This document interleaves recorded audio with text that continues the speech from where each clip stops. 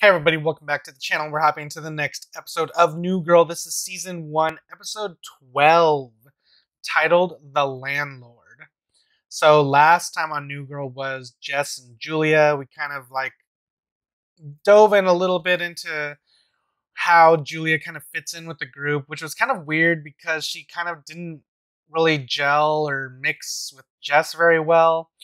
And it wasn't great. I, I like Jess. She's she's such a delicate flower, but the fact that Julia is just kind of mm, you know, and wasn't really having much of Jess's, you know, desserts or any of her whatever breaking for birds or whatever the fuck she, the whole case was about. Um, but I, I don't know. I like Lizzy Caplan. I like the idea of her having anger management issues and her kind of being paired with Nick because it's such a contrasting type of a situation between them. And then you kind of had uh, Jess and, uh, added to the mix, and Julia kind of thinks Jess likes Nick, which is technically true. I mean, we can see that. That's not a secret, you know. So, um, with this one, the landlord, I don't know. Are we going to continue on with with with the Jess and Julia stuff or whatever? But they're Julia and Nick are boyfriend girlfriend now, so maybe Julia will be in this, maybe not. Cece needs a more prominent role in the show. I feel like uh, there hasn't been enough of her recently, which is okay, but you know, we'll see what happens with that. Winston kind of has like his eyes on this girl who he had like a booty call or fling with for two years, and he was gone for two years, and now he kind of wants to make it up and take her out on a date or something. It's whatever. But yeah, let's just hop in, have a good time. But before I do, I want to remind you guys if you guys want to skip the YouTube highlights, hop on over to Patreon. There you'll find the full length, uncut, unedited reactions, as well as early access to everything else you see here on the channel, as well as exclusive reactions. So if any of that interests you, hop on over to Patreon. If you can't support me over there, you can always support me right here on YouTube. All you gotta do is like, comment, share, subscribe to the channel. Now let's stop talking, hop in, have a good time, discuss afterwards. All right, guys, here we go.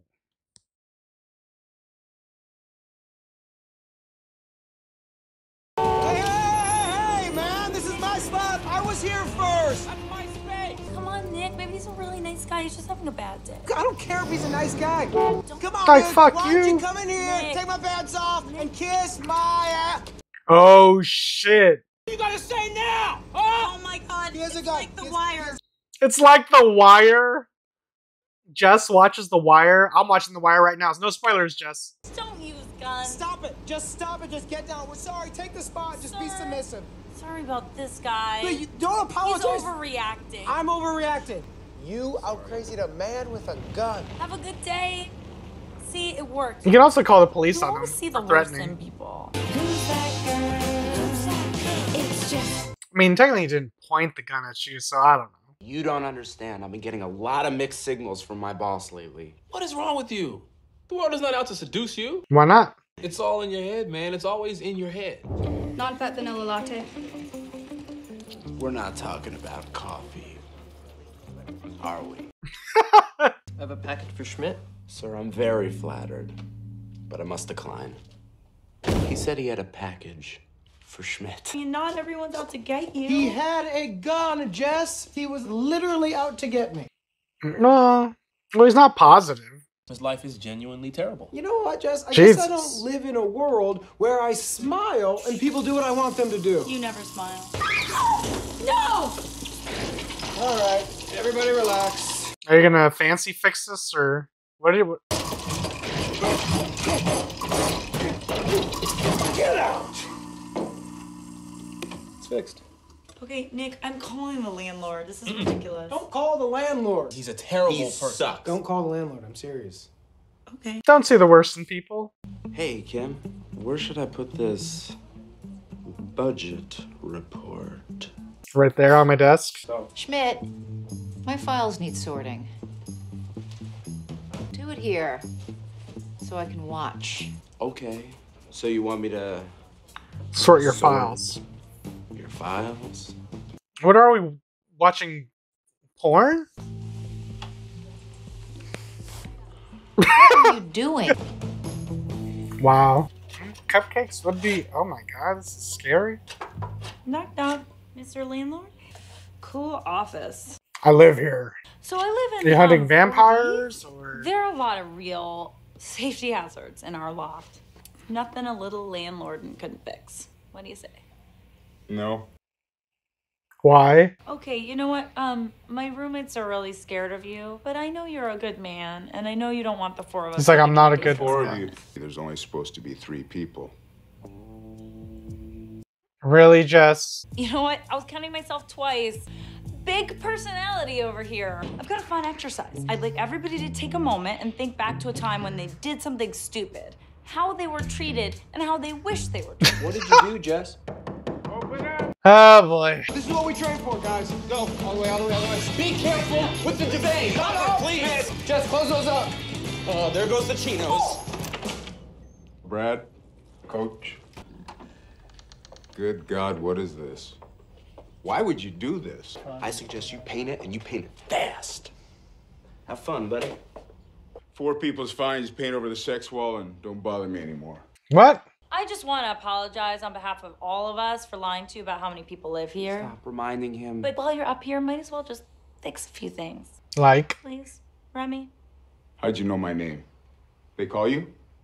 They? I they? saw your tattoo that says, hello, my name is Remy. Look, I know you're a good guy. Okay, what do you what do you want fixed? Why don't you close your eyes and point at something?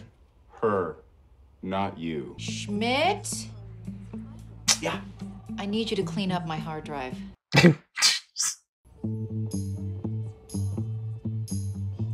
All right, give it a shot.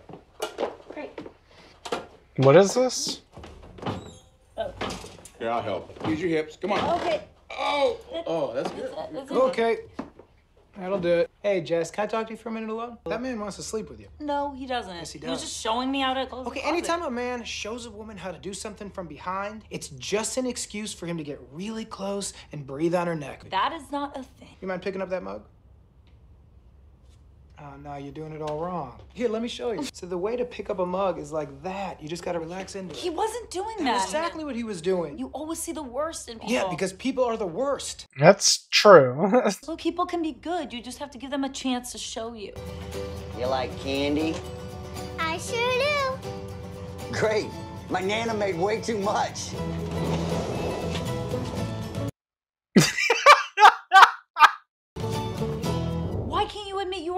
Wrong? I'm working up an appetite in there. Boy, I hope you don't mind the smell of a real man in your room.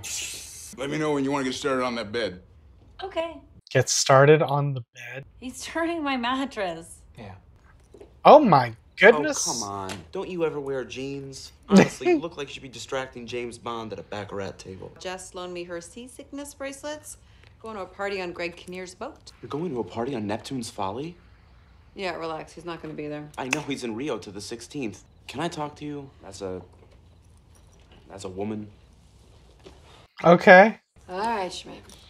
Okay, my Mm. boss and I, we're running a pre-sex marathon right now, and I feel like we're stuck in mile 25. I'm cramping, Cece. It's like I can see the finish line, but I just can't get there. I need to put one of these on right now. The problem is, is we don't talk. I don't know what she's thinking. Should I make a move or not? Stop asking permission and go get it. There's nothing less sexy than a dude asking if he can kiss you.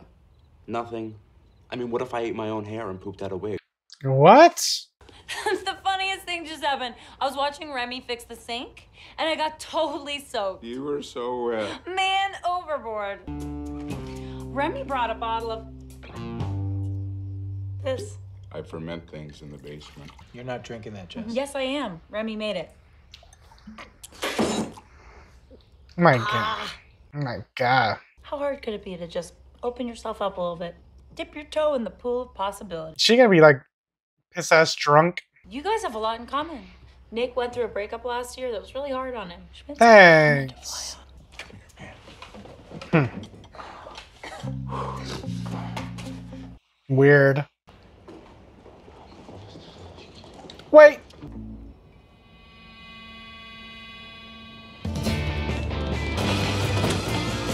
I want you now. Finally.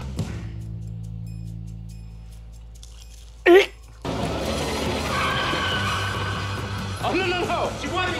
Oh, yes. How to- Why can't you just admit that you were wrong? How have you lived this long on your own? There's no part of that man that wants to sleep with me. He's been creeping on you all night. Um, is he just gonna say time for sex or something? Oh.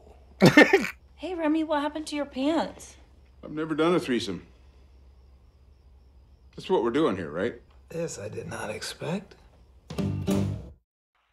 I might have been a little bit off about Remy, but people are generally good, and I am not wrong about that. Yes, people are jerks. You would seriously have a threesome with that man just to get me to admit that I'm wrong. Oh, I think we could do a lot worse than that. He's got strong arms. Let's have a threesome. All right. They're kind of fun. just All don't think so- about it. This is happening with this guy. This is happening right now, Jess. Yeah. So it's gonna get even a little more uncomfortable. Try to negotiate your rent or something. Say it's over, it's over. Yeah. And then I'm gonna start unbuttoning your pants. And then I'm gonna unbutton my shirt. Why is he going for Nick first? Jesus. You two get us started. Me and Jess get it started. Oh All right. shit. Go ahead. Getting it started. Yeah. Nick, I will do this. Say that you're wrong and it's over. I'm not wrong. Then let's do it, I can do it. No, okay, fine. Maybe I'm wrong. Yes! I'm sorry, Remy. Whoa, what is going on in here? All right, I am not ready for a four-way. I'm out of this. Damn. Hey, Kim. Oh god. Look, I just wanted to apologize for yesterday. I hope you didn't Stop get into resisting. Look, Kim, this wasn't your standard 2 a.m. mistaken assault in the parking garage. Hey. Go into the conference room and dial me into the Tokyo call. Okay. Yeah. Um, it's not what you think. Oh man, you're about to be spread eagle in front of like everybody. Why would you do this?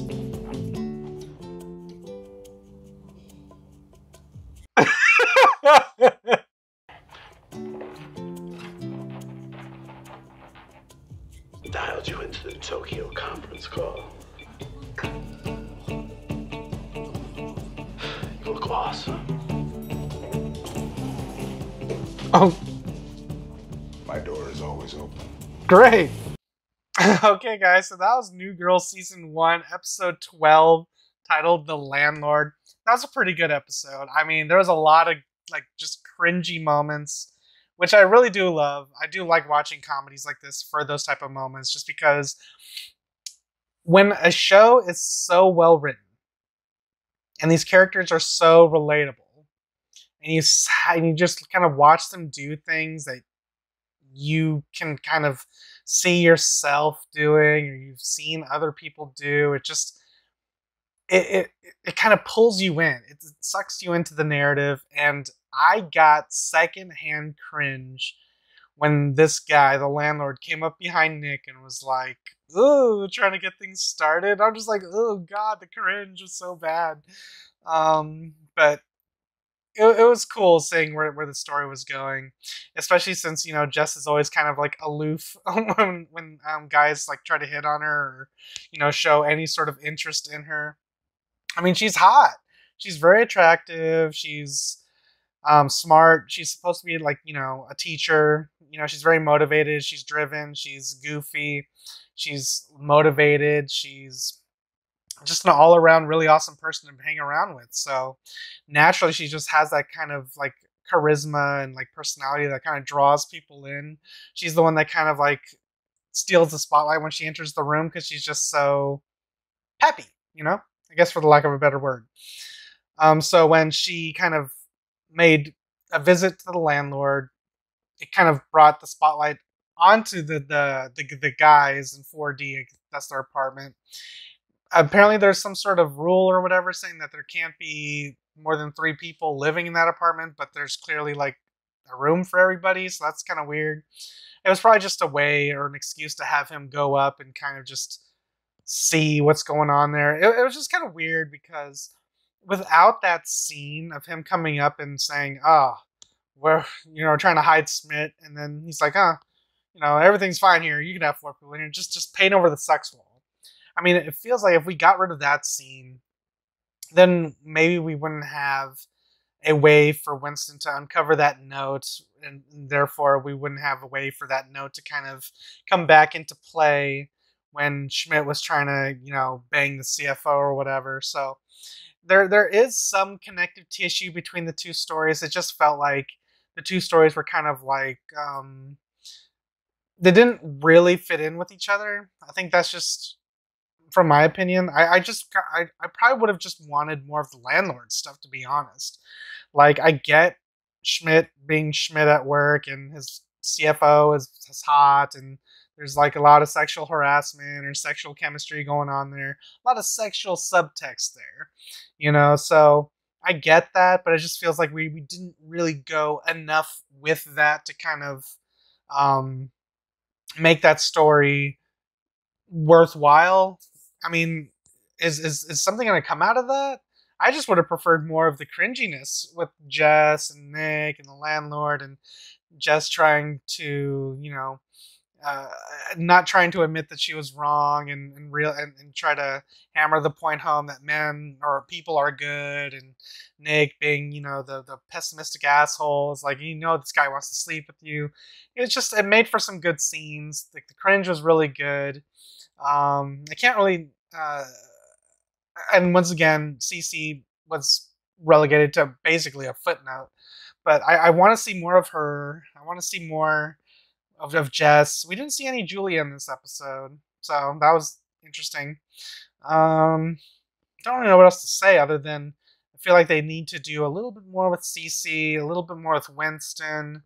But the the the cringe, the comedy, I was laughing out loud. It, it was a good episode, nonetheless. You know, good shit, good stuff.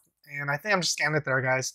All right, if you guys enjoyed my review, enjoyed my reaction, guys, want to see this episode with me in its entirety, the options available to you right now over on Patreon. Links are in the description down below or pinned in the top comment. If you can't support me on Patreon, you can always support me right here on YouTube. All you gotta do is like, comment, share, subscribe to the channel. I'm gonna get out here now. I'll catch you guys next time in the next episode of New Girl, Season 1, Episode 13. Until then, adios, guys. And if you liked what you saw, tell your friends, tell your family, tweet about it. And if you didn't like it, shut the fuck up.